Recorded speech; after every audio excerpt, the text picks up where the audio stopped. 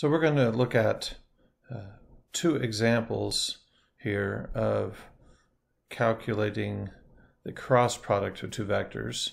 The third type of multiplication, remember we have scalar multiplication, which adjusts, like it says, the scale or the maybe the length of the vector.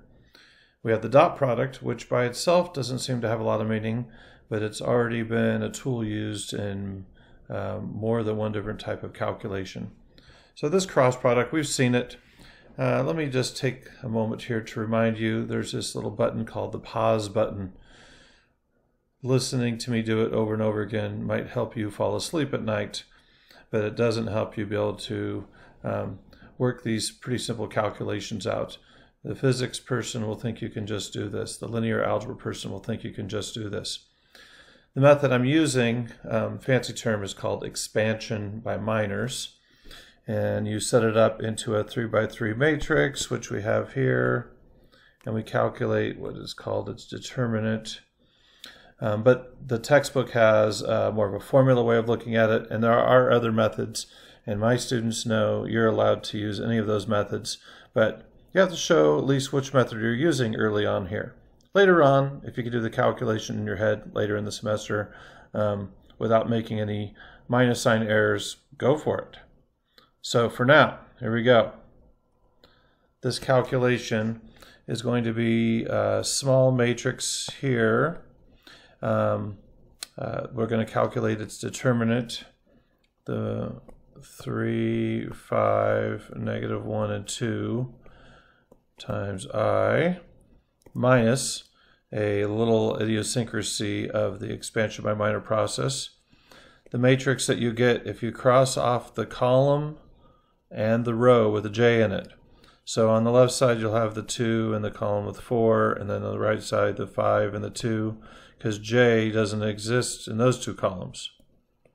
J plus, and then finally if you cross off the row and the column with the K in them, you'll have the matrix 2 and 3, 4, negative 1. And each of these is a smaller 2 by 2 determinant. So we have now expanded, made more, into smaller matrices. Expansion by minors. All right, let's do the calculation.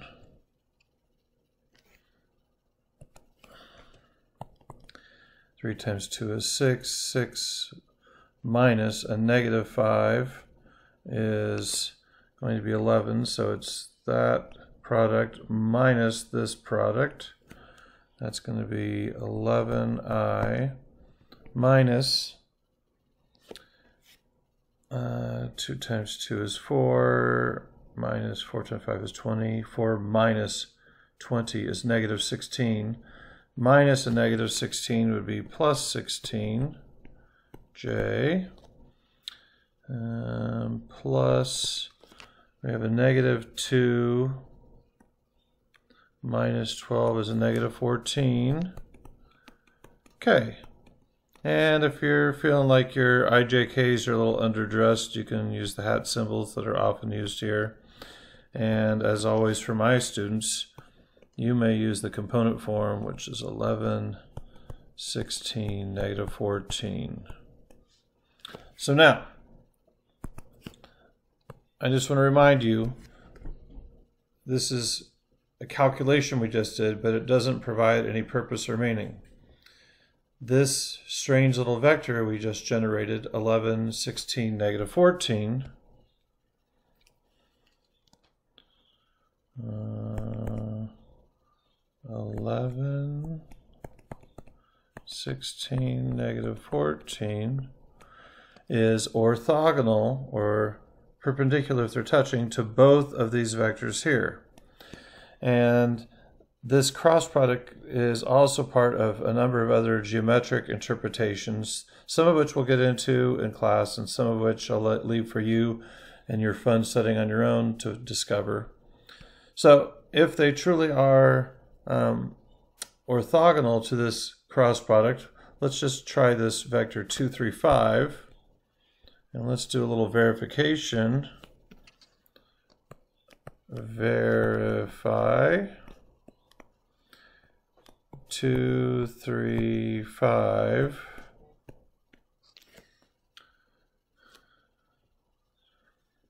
Eleven, sixteen, negative fourteen.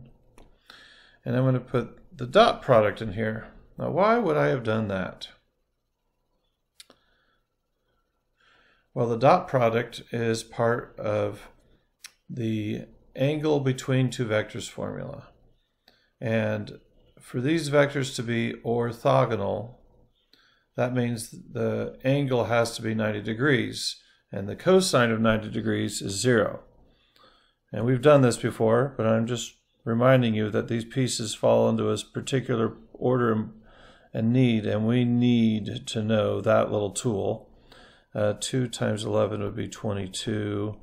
3 times 16 would be 48. And 5 times negative 14 is negative 70. That, my students, happens to add up to, drumroll please, 0. And the cosine of 90 degrees is 0. So when the dot product gives us this 0, then we know that we have a 90 degree angle between the two vectors. So these formulas you have to not just keep somewhere near your person when you're doing homework and problems, but I think these are worth internalizing because they are rather significant in physics especially. So let's look at another example really fast. This is simple looking one. Uh, doesn't want to go away. Oh well. I cross product J equals question mark. So, what vector is there that is perpendicular orthogonal, if they're not touching, to the i and j vectors? Hmm, maybe that's not an automatic answer. Um, but what if we look at it this way? What if we remember that the i vector is in the x-axis direction and the j vector is in the y-axis direction?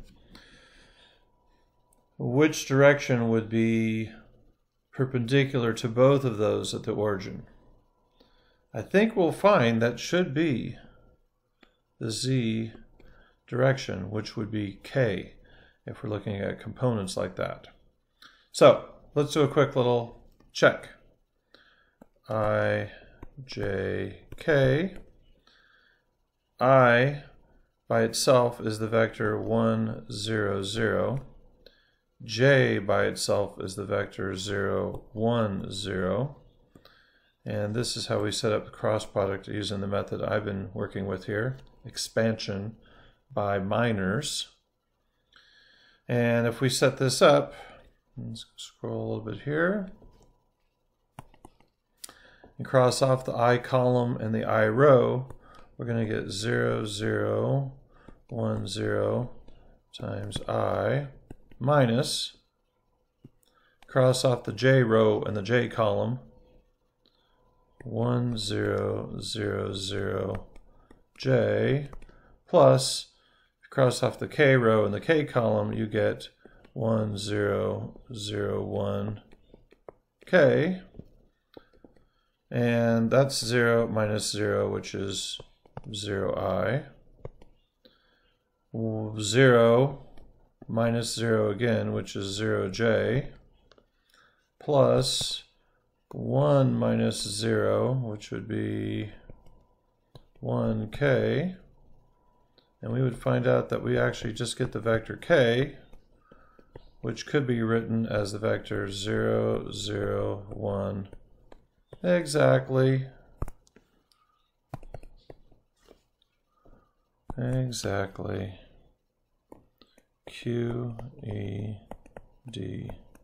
Quite easily done which is not what it means in Latin. But again, you can look that up. All right, Well done.